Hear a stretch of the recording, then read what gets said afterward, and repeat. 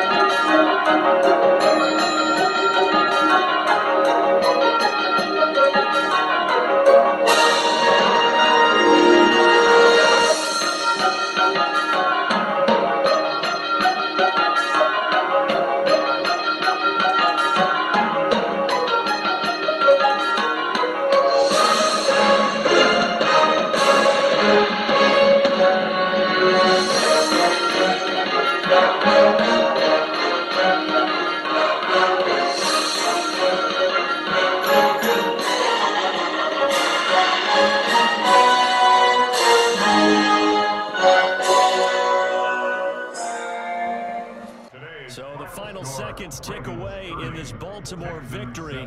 And it was their defense that really paved the way to this victory as they allowed the one touchdown, and that was all she wrote. Almost want to do the defense chant right now, right? Defense with a couple of claps in there, but no one wants to hear that from me. Let's just talk about how they got it done, though. When you take care of every aspect of the game, shut down the run, control the airways, right? Make sure the quarterback is harassed. This type of performance you get. They can't fashion together any offense, no consistency, and they just took control.